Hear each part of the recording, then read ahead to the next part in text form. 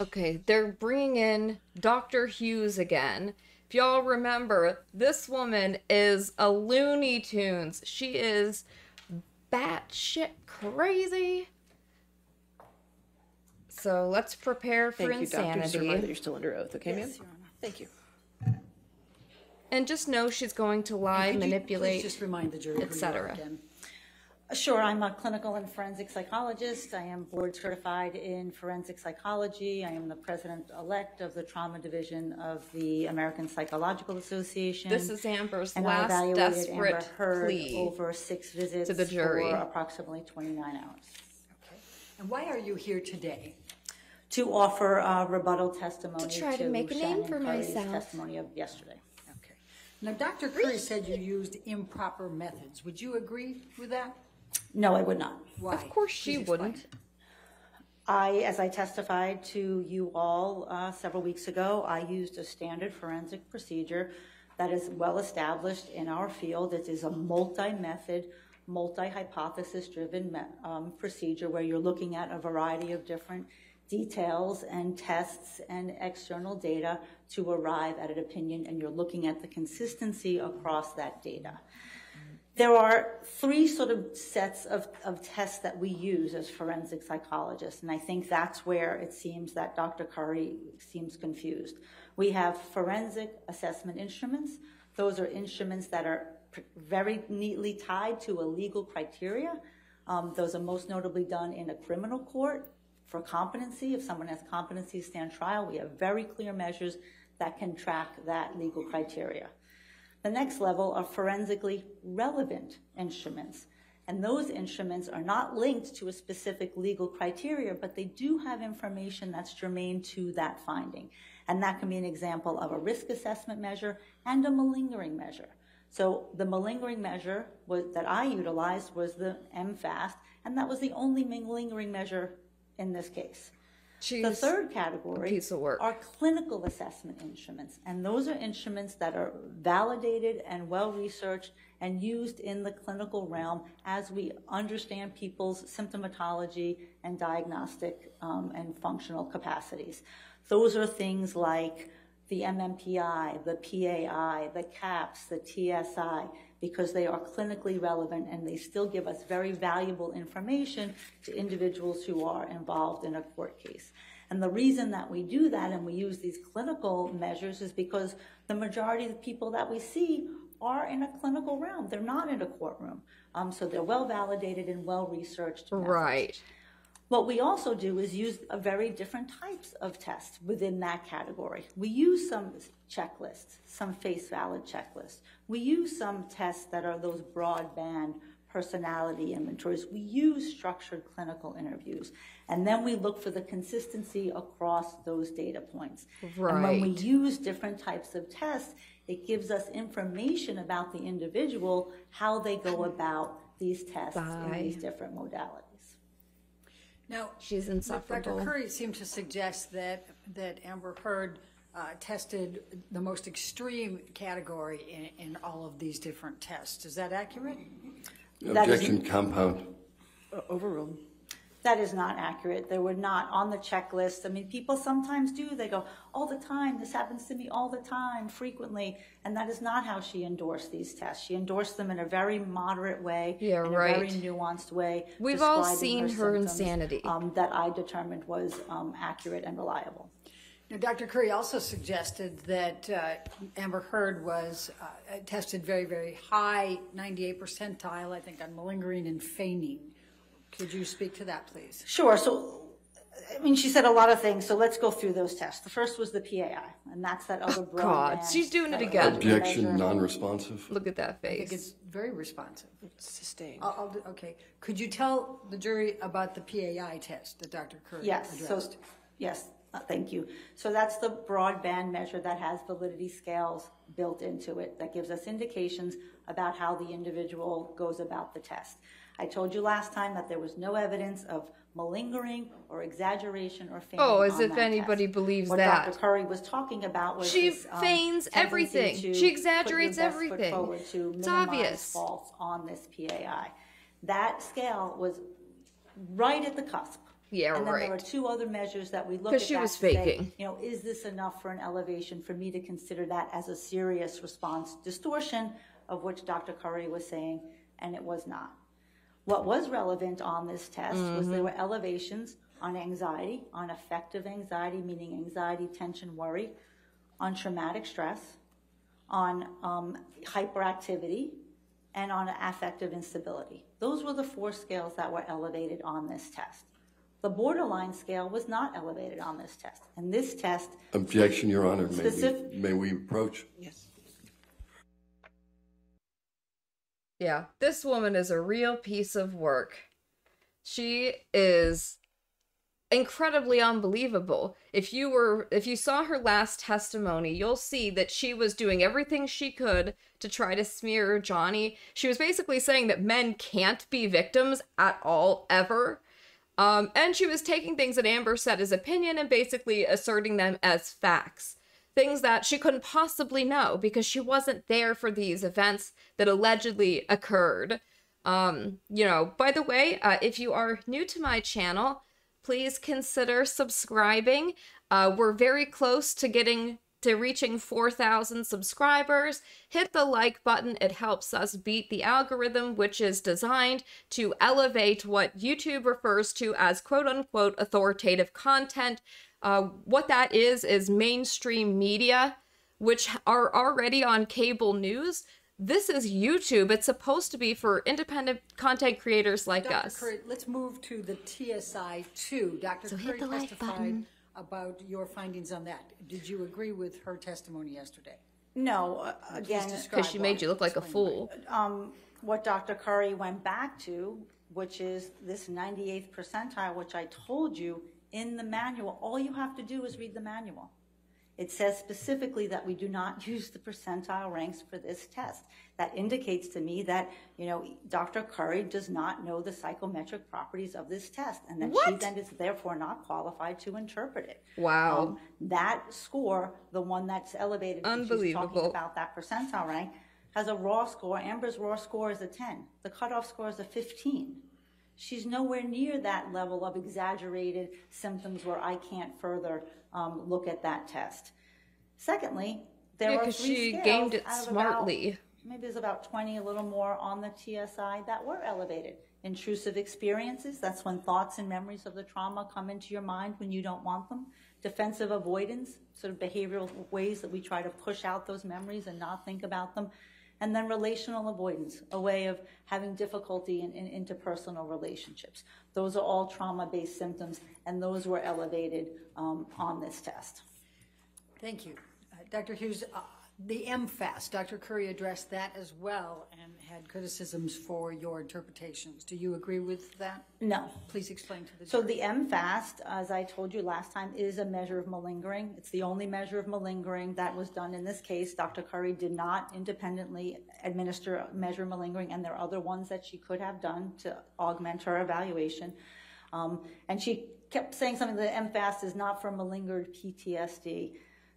That's wrong on a couple levels people who are going to malinger and feign don't only feign one diagnosis. They sometimes talk about all different symptoms that they have and they exaggerate and they make themselves seem much worse than they are. So when you're doing an evaluation, you're giving a malingering measure to get a sense of how this person is responding to this evaluation. Now, what you do is you take those three tests that I talked to you about, the PAI, the TSI, and the MFAST, all with valid validity scales, you have greater confidence in your results. And that is in the literature, and that's literature that Dr. Curry cited in her report. That bolsters the methodology that I used.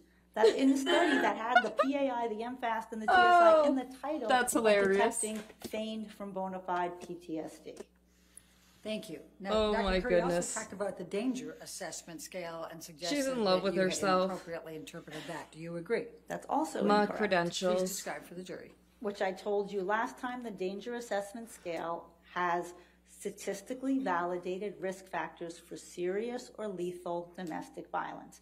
Those risk factors exist whether we go forward, we're sitting with someone in an acute setting and assessing them right now, or if we look backward and we look retrospectively about what factors may have been present in a case that indicated severity. That instrument is used in what we call, there's called domestic fatality review boards. Those are boards after somebody has been killed, a homicide has occurred in a domestic situation. They look at these risk factors to see what was there and what could be done.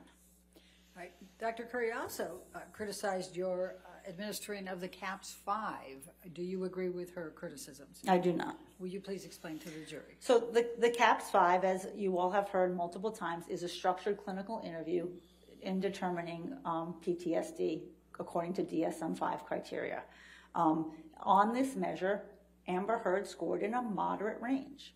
She did not over-exaggerate on this test. She could have said no, mild, moderate, severe, and extreme.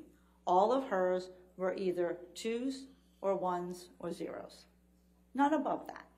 So she's scoring in the moderate. So she's range, which still trying to game it. I mean, we don't want someone to be having moderate PTSD, but that's not an exaggerated profile or exaggerated response style of If someone she who's, did it um, totally exaggerated. It would be obvious. She's trying to make it not obvious. to was the PCL 5. Uh, Do you agree with her criticisms of your administration and interpretation of that?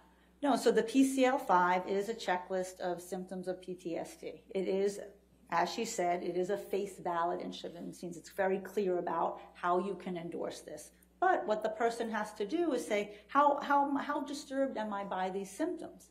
And when you have face valid measures with these other measures that have the built-in sort of ability scales, you're sort of controlling for that response bias error. You're Okay, grifter. For that individual to sort of over exaggerate.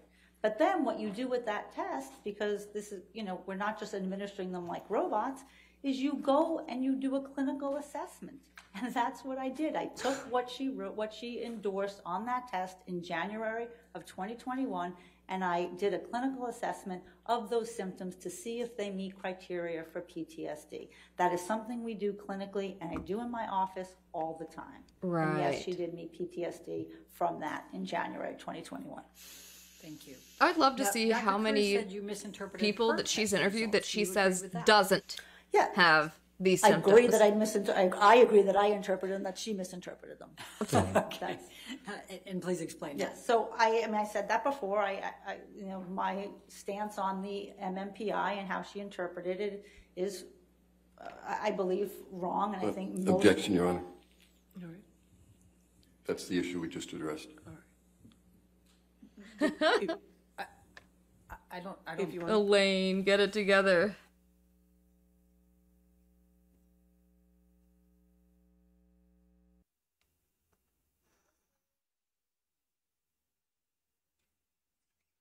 Oh my goodness.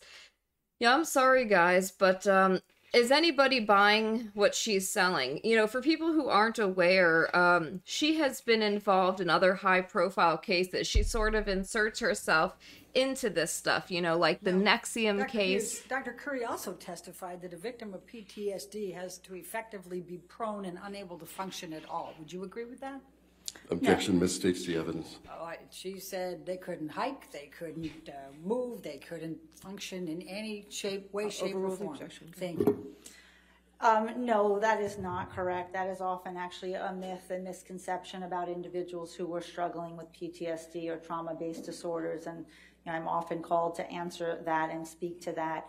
Um, you know, people who are struggling with trauma and PTSD are very strong, courageous, resilient people, even though that they're struggling. They get up, they have to go to work and drop their kid off at school and go to the market, even though they're struggling with these symptoms. So I often talk about it as this sort of walking around with a 50 pound bag of flour on their backs, just sort of trying to get through the day where Oh, sometimes God. that button's going to press play. I'm sorry, the but trauma's going to start activating. we can all head, and then they're gonna be observe having to think about it. Amber's start on have demeanor here. Physiological reactions until they can find We've a way seen her to hit that pause, laughing and, shut it and off again. smirking So they still have at know, Johnny Depp when he's on the other ways, stand. but they go about That's their not lives. someone They're with not, you know, PTSD. totally debilitated. Living if you in have fear. someone in that high range, the highest score is an 80 on the caps. Miss Heard had a 28. If you have someone in the higher range, we have seen people who are, you know, severely disabled because of it, but that's not the norm of people who have um, this moderate PTSD. And did you find functional impairment with Amber? Yes, I did. Now, Dr. Curry also said She's all right, It is not within the in scope her of a brain. psychologist uh, to evaluate domestic violence. Do you agree with that? Uh, Of course, I don't agree with that. This is what I do You for a living, there. day in, and day out, for 25 years. Yeah, it's your big We are specifically trained to understand the profound impact that trauma has on people's lives. That's what we do. No, but you can't say what happened Association. you We weren't there. knowledge. It's And not domestic violence possible. Is one of those profound traumas. Domestic violence God, is part of um, state licensing bullshit. boards that you can't get licensed unless in some states unless you take training on domestic violence. You can't renew your license unless you get. But you're not a fucking mind violence. reader. You're not a so people who have you know specialized training in this area, it is Oh, you know holding upon them to accurately assess for intimate partner violence and sexual violence, and it's Oh, more please. important to assess for the sort of scientific What she's doing understanding is of wrong. what domestic violence is. So you have to assess for the physical violence, the psychological violence, the surveillance, the economic, the emotional abuse, and These are all sexual things Amber did to That is Johnny. not gratuitous. Uh, that is Objection, understanding. narrative. All right. Next question. Let's take a question. Yeah, she knows exactly what she's doing. Now, Dr. Little Curry psycho. suggested that you made a- a determination just based on personal opinion and just on checklists and a couple of tests that you misinterpreted. Would you agree with that?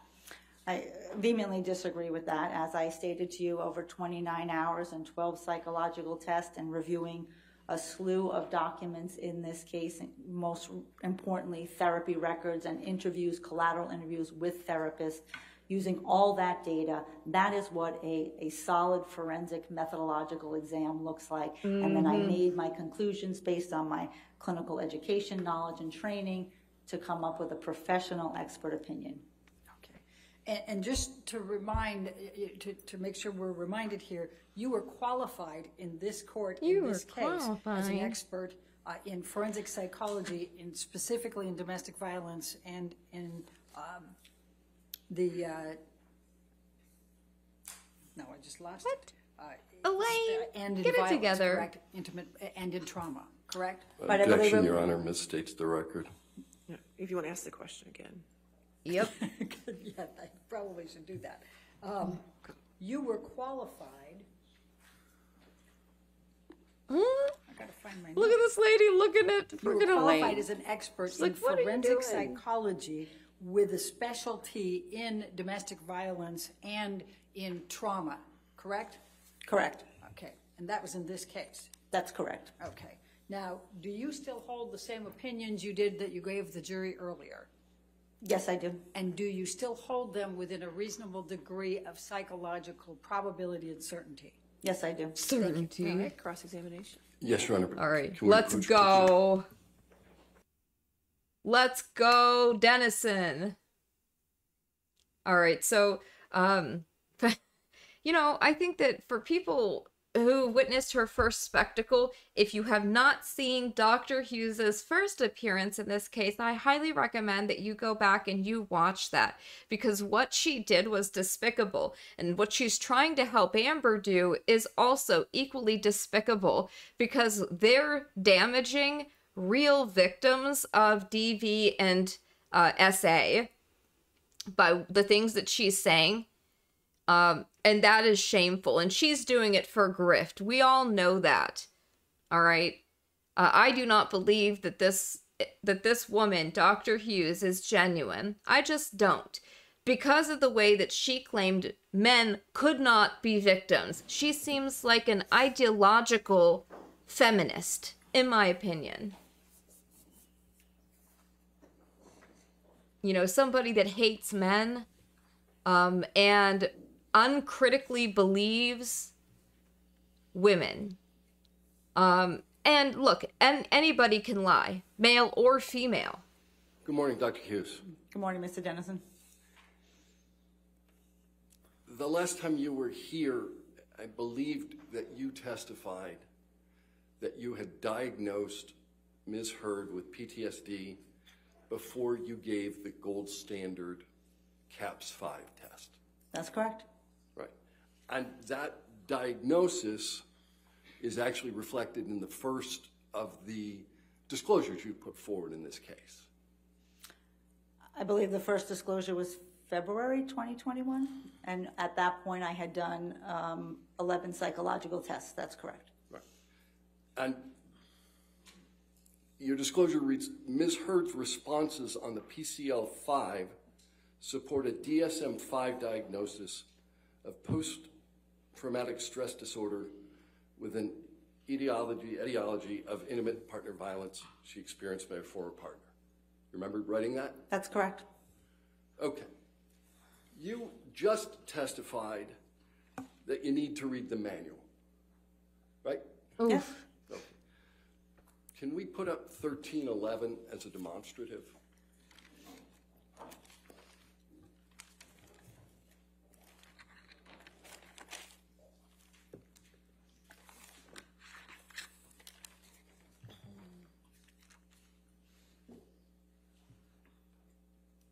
Any objection to I thirteen don't know eleven? what it is, Your Honor. All right, if you want to Maybe lay, we approach. you want to approach? Tom,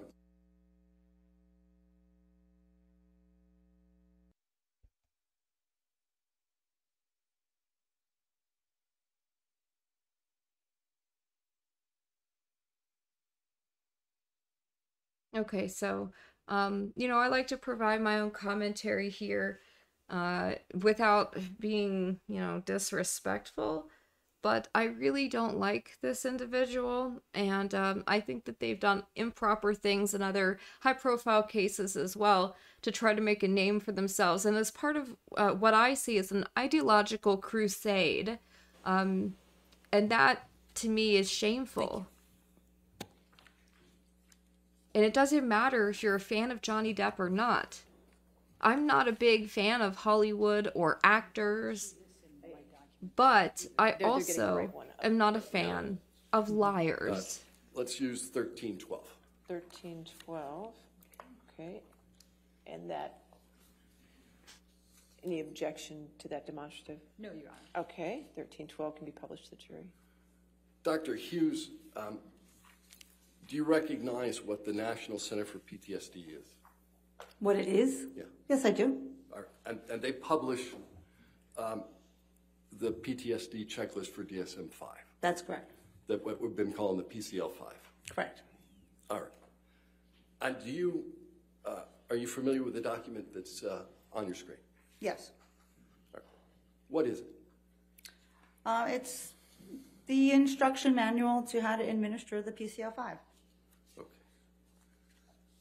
Okay. I'd like to move for the admission of 1312. Any objection to thirteen twelve coming into evidence? All right, thirteen twelve in evidence. All right. Can we go to the second page? Can we blow up the second paragraph on the right?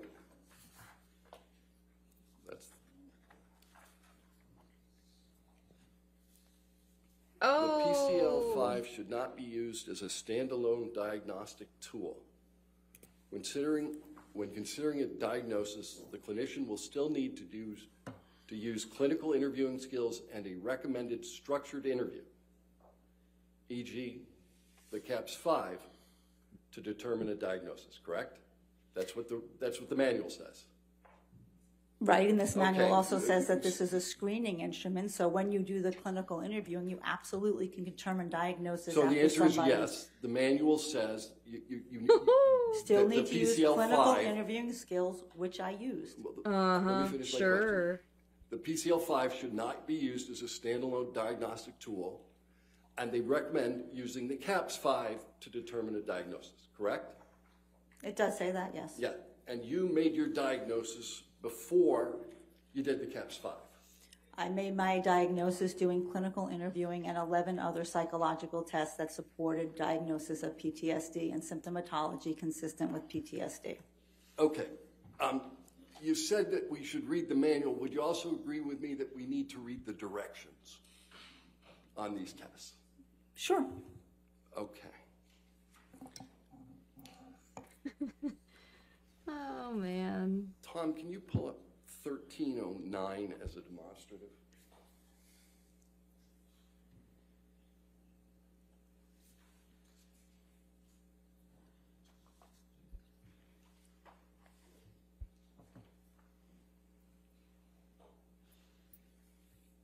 Yes, sir. Thank you.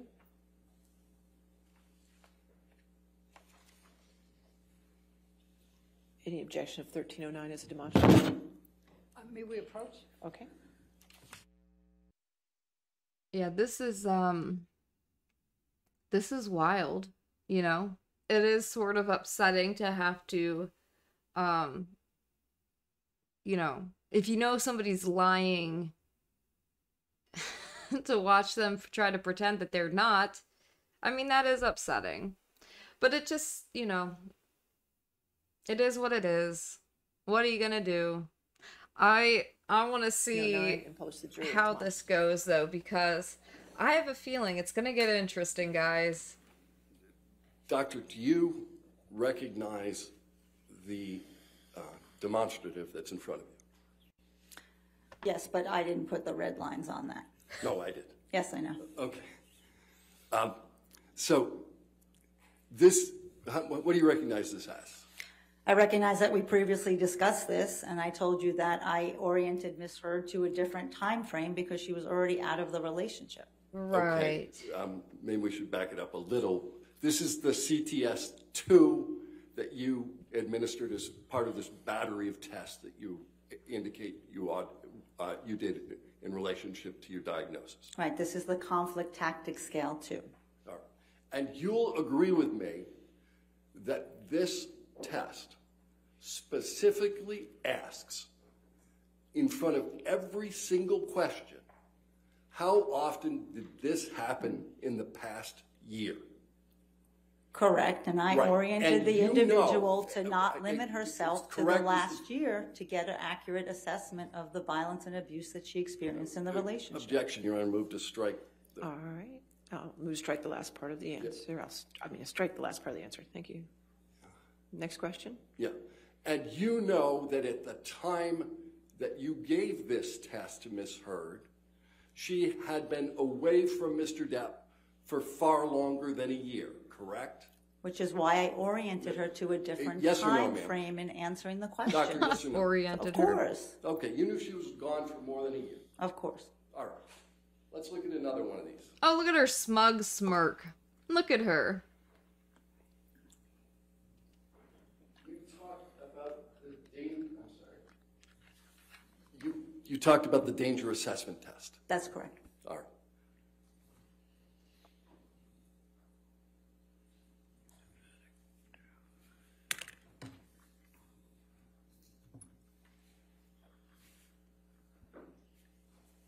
What number is this? 13, plaintiff's 1310. Thank you. Any objection to 1310 uh, as a No, Your Honor. demonstrative? Okay. You publish to the jury?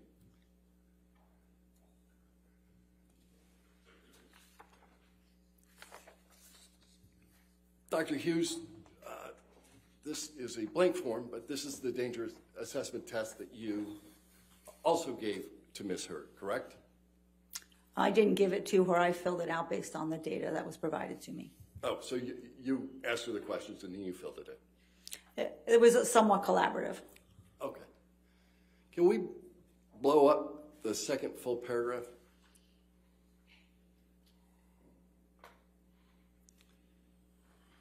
It says, using the calendar, please mark the approximate dates during the past year when you were abused by your partner or ex-partner. Oof. You didn't use any calendar, did you? I did not use a calendar because she was already out of the relationship. As I said, these are static risk factors, so they don't change. So I But these oriented to the exams- time of the rel- relationship. Ma'am, it's fair to say that ev- this examina- examination that you gave specifically indicates that it's, that you were supposed to look over the past year. And you, That's that's not the one, language? no, that's one administration. People use this instrument for if you're in an acute situation in a relationship, trying to get a better assessment of the current behaviors. We can use it retrospectively, like I just stated, and in homicides and looking back about what are the serious risk factors that were in this relationship. I didn't ask you about anything other than, don't the instructions limit this test to the previous year. You you can give this test not only on the previous. Nope, previous year, asking you about the instructions. but I'm telling you how the test is administered in clinical practice and in forensic and- practice. And opposing counsel can, can come up and ask questions about it. I'm asking you about the instructions. And the instructions say, look over the oh. past year. Dang. Yeah, on this, yes, that it says that. And you had actual knowledge when you gave the test that Mr. Depp was gone way more than a year before this test. That is correct. Right. All right, let's look at more instructions. Uh, Can we look at 1247, which is already in evidence?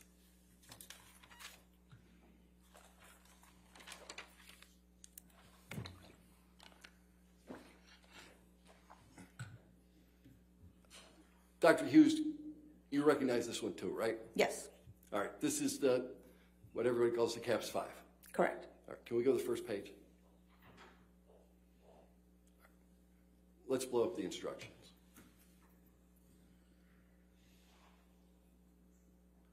Standard administration and scoring of the CAPS 5 are essential for producing reliable and valid scores and diagnostic decisions. Correct? Correct.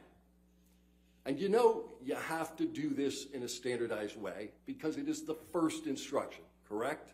Correct. Can we go to the next, uh, to the next page? One more. Oh, wait, that's good. This is a page on scoring, and, and we talked about this last time. Yes, You score these tests by frequency and intensity. correct. And you'll remember that in every single instance that you were asked to fill in the blank about frequency, you failed to do so, correct? That's not correct. Oh, you, you filled in any blank on this form with respect to frequency? I filled in the frequency on the side of the caps where I am actually scoring the caps. No, I asked you whether relevant. you filled in a single blank on this form with respect to frequency. Is the answer to that yes or no? I don't know what you mean, a single blank. All right, let's, let's page down. Let's keep going. All right, let's, we'll, we'll stay at this page for a second. Um, this is the very first box you're asked to fill in as to, I, I think, a fairly fundamental question, right? What happened? We talked about this before, Mr. Dennison. I had 88 pages of notes of what happened. It would have been redundant to put it there. You know that you are obligated to produce this test in a way that other people can meaningly review them. Yes? The people in this case who are meaningfully reviewing them have my 88 pages of notes. Right, but you chose to put absolutely nothing in the box, oh the standardized box, that said what happened. You don't have to put it in the box if you have it somewhere else. It's not a, Because this if is it's not not a standardized test? Well, if it's not a research instrument that is used for research, if you're using it for a oh. clinical diagnostic purpose, no, you don't. If you oh. have that data elsewhere. Okay, let's go a- another page or so. All right. Let's go another one. All right, let's look at item 4B4. And I asked you whether you filled in the blank about frequency. And there's a blank in many of these items that asks number of times. You didn't fill a single one of them in, did you? right? Because I filled them on the right side of the instrument where I am scoring it. And that is the way that you believe that you followed the instructions of a standardized test. Yes, correct. No further questions. All right, redirect. Very briefly. You used the term static risk factor. What did you mean by that? Static risk factors are risk factors that don't change. It's maybe um, if you smoke cigarettes, you may have a risk of lung cancer, right? That's a factor that doesn't change. You can look forward if someone's smoking, you can look past if someone's smoking. So these lethality risk factors are present whether you're evaluating them in the last year or five years ago. And when you're trying to assess for trauma related to the interpersonal violence that we discussed, um, why is it important to get a time frame in which the relationship was in existence?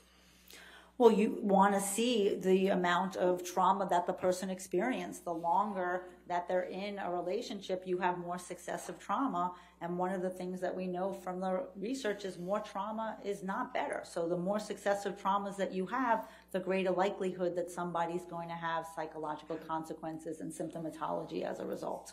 And therefore, you need to get it within the relationship. Objection leading. A- a- And, and so how does that relate to needing to get the time frame in the relationship?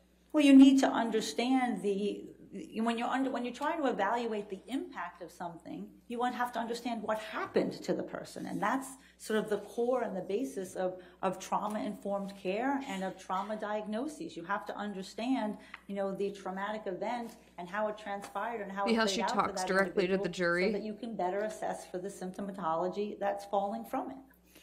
You said you had 88 pages of notes. What were in your 88? And without going Oh, into the God. specifics, can you just describe what was included in the 88 pages of notes? Um, in the 88 pages were um, many of the documented incidents of intimate partner Objection, Your violence. Honor. She's just describing it. Uh, That came up. He said. 88 he pages of in the notes? boxes. She said it was in my 88 pages. I'm just saying what was in your 88 pages. Sh- I'm not asking her to give each of the specific events. She can describe the summary of it. Can we come up? Okay.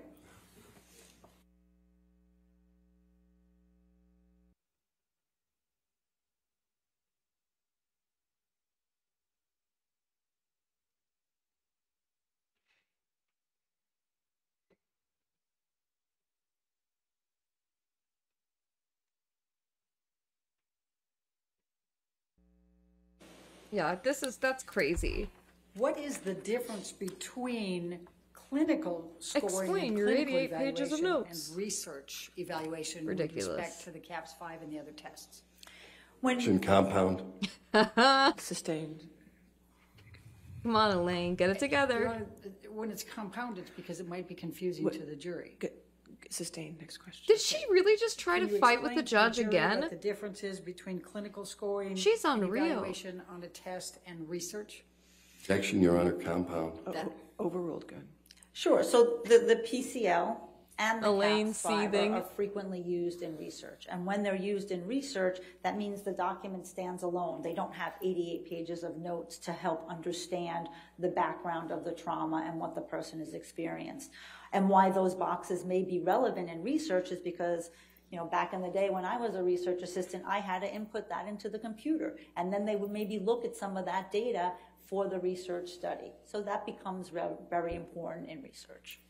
All right, thank you, I have no further questions. All right. Thank you, Dr. Hughes. You can have a Thank seat in the courtroom or you're free to go. That okay? was ridiculous. All right, ladies and gentlemen, let's go ahead and take our afternoon recess. I mean, right, sorry, so morning what do you recess. guys think of I'll Dr. just take a Hughes? 15-minute recess. Do not Let discuss me the know case with anybody in the and don't bring comments. outside research, okay? Do you think she did good today, or do you think that once again she just said a bunch of gobbledygook nonsense?